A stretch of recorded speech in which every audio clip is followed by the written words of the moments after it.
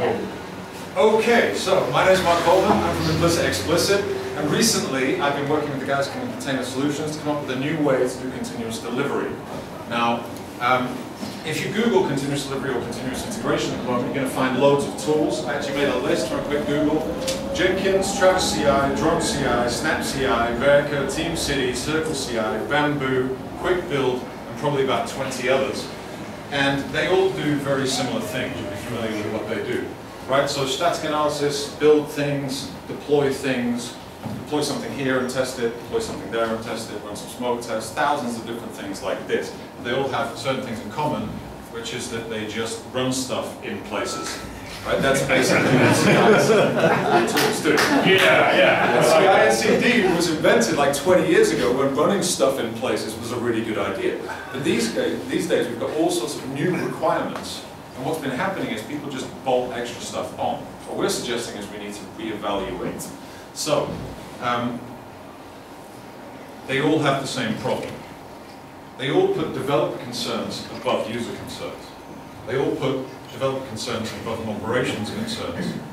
And none of them really have a language for important things. None of them have a language for performance. Right? They just say run something somewhere. Right? Run stuff on a thing. They don't have a language for uptime. They don't have a language for zero downtime deployments, right? These are things that you have to add on to the system later. They don't care about how systems are composed. They're just going to run something somewhere, right? So take this and run it on test. That's it. It's the only way they look at things. So they don't care about anything that, that users do care about, right? It's a strange system. Built tools are very developer-centric, and they're not based on what we're actually trying to deliver. So um, we sat down and uh, we thought, what, what, what, can we do about this? So we've done a lot of thinking. We've made a pretty diagram. We did not make a logo. Um, and we've come up with this idea, compose CD. So before I get into it, it's not going to be able to replace what you it's not even supposed to replace your CI. It probably won't be able to replace what you're doing now. And it's not for everybody you're going to have to be running your workload in containers. Uh, your containers are going to have to be environment agnostic. So I'm going to have to be able to put them anywhere, and they're going to have to be able to use some sort of service discovery tool to figure out at runtime what they're supposed to be doing. Um, you don't have to be able to continuously deploy your application, but that's sort of the whole goal. So it would be better if you had an application that could be continuously deployed. Um, so how does it work? Now, we're going to have to introduce some terminology. How am I doing for time? Good. Good. You're going way too fast, slow down. Okay. Um, introduce some terminology. Most important thing is the wall. Yeah. So, um, we, we don't care, the only thing we care about is deploy time stuff, right? So we care about you getting your software into the image repository, right? Everything after that, that's our thing. Anything before that, we don't care, we're not going to try and fix it. So, as we say here, we don't deal with test your code, we compose containers fractally, and we're going to look at what that means later. So, slides are really small. Oh yeah, right. So, the idea of compose CD is that composition and non-functional requirements are first-class citizens, not things that you bolt on afterwards. Um, the approach is pull-based. So whereas with uh, Jenkins, for example, the, the, the, way that all CI tools look is I'm a developer, I commit some code, push it to GitHub, and then it gets pushed, pushed, pushed, pushed, pushed. What we're saying is we don't care about all that stuff. From the image repository onwards, we're going to pull it towards where you want it, which is the users. I'm going to see what that means. Um, what it effectively means is that DTAP is dead. Right? So DTAP is just an arbitrary construction of VMs or environments moving towards your end goal. What we're saying is it, it just doesn't matter. That's not actually what you care about. DTAP, DTAP is an artificial construction. What you want to do is to check the subcomponents of your uh, sub-compositions of your services are working together. And then when it's done, they make larger compositions. And then finally, your ultimate uh, composition, which just happens to be production. So, how does it look? This in the middle, this is the wall, right? So anything on that side, we don't care about. If you want to do building, unit testing, static code analysis, all the rest of that shit, then go to any one of those uh, tools that I mentioned earlier. Can you give me a one minute more? Um, I'm giving you two minutes more. Okay, that's that's two minute- what are? On, on this side is where Compose CD gets involved. So the idea is, is that we give a language to be able to describe things you care about, which is on this side, I have composition X at the top, which consists of three services, A, B, and C. A, B, and C have non-functional requirements that we want to test. When there's a new version in one of those repositories, we want to automatically pull it into the composition and run non-functional testing against it. Can we upgrade, can we upgrade it without any downtime? Can we put load on it and check that it performs as we expected it to? As these things are coming off the queue at the top, which you can't really read, and getting pulled in, when that composition is tested and stable and done, and it's running the whole time, it's then pulled into, as a full composition, you see X becomes part of the larger composition, which will then be production at the end, into the final production composition.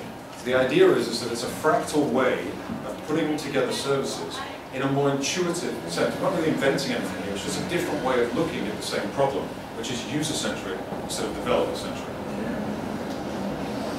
One minute. Um, that's a shame because I'm done. Uh, thank you.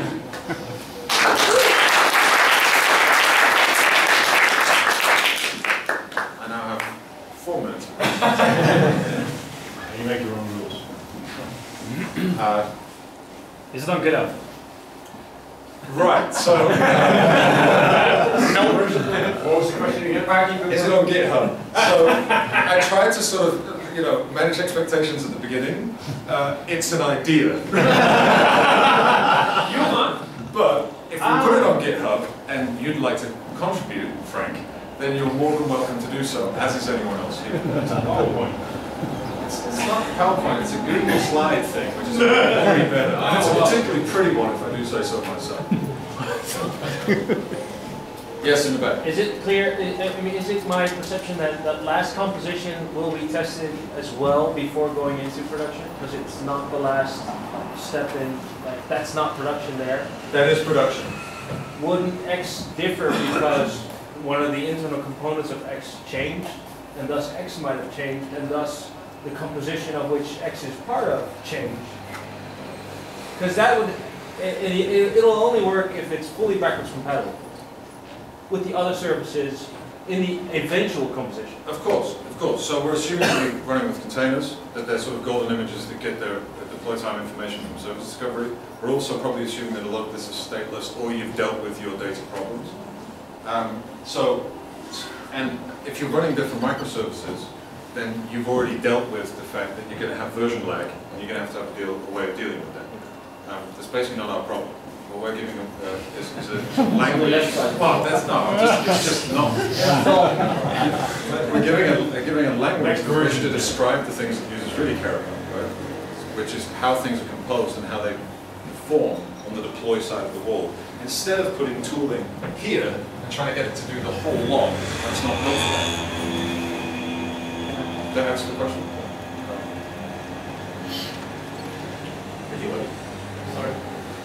Going to say, presumably you still, of these compositions has to come up with a set of of what each of these compositions has to do. Exactly. Yeah, so you're gonna have to, we can't write tests for you. But what we can do is give you a way to look at the problem, which is conducive to that sort of composition of testing, right? Focusing on non-functional stuff, security, like uh, the performance under load. Making these first-class citizens is another way of saying, like, worry about that first. Like, uh, production first development is something that's being spoken about, it's coming. for the monitoring first and then work backwards. This is just an extension of that idea with tooling underneath. Yes? What should be the trigger of the tool when you say it should not be pushed like with every commit and every version? Is it like an GitHub tag or anything that should trigger the tool? Well, there won't be a GitHub tag because that's on the left side of the wall with wildlings. We don't care about that shit. On the other side of the wall, Westeros. So, all we have is queues of tested shit. So, like at the top there, the queue just on the right side of the wall is all the new images that are waiting to come into composition X. Now, when that's tested, and you have to define yourself when that's tested, the whole composition moves to the final composition. Now, data is a big problem, but data is a big problem anyway. We're not trying to solve that. Fair enough. State is always an issue. Still sounds like push to me. Yeah, exactly. Where's the pool? Yeah, there's an arrow pointing to the right. Where's the arrow going to the left?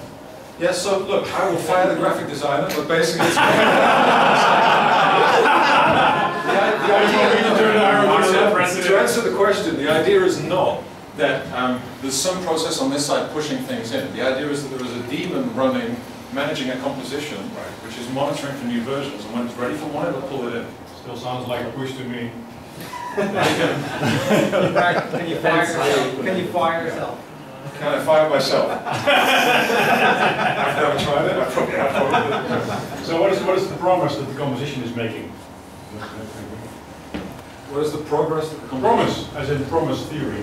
Oh, You're paying wow. attention, right? Yeah. So uh, the promise is that it will um, uh, attempt to, it will promise to pull new versions and run your tests against them.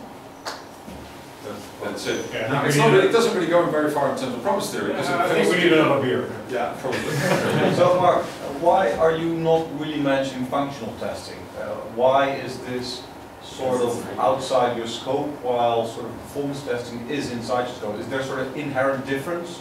Yeah. So because With respect performance, this- test, performance testing's hard, and it's always left to last, and it's never done right. Uh, We're saying let's do it first, because functional testing is comparatively easy, right? You don't need accurate state, you can come up with all sorts. So by comparison, an end-to-end test, which just says I have a, I have a given state, and like time is not really a factor, I'm just gonna run stuff, and it will deterministically run through logic, is easier than non-functional stuff, where we want to monitor what's happening, and that's the nice little things you see here, monitoring, right? So, Time's up. Okay. We'll, uh, we'll finish it.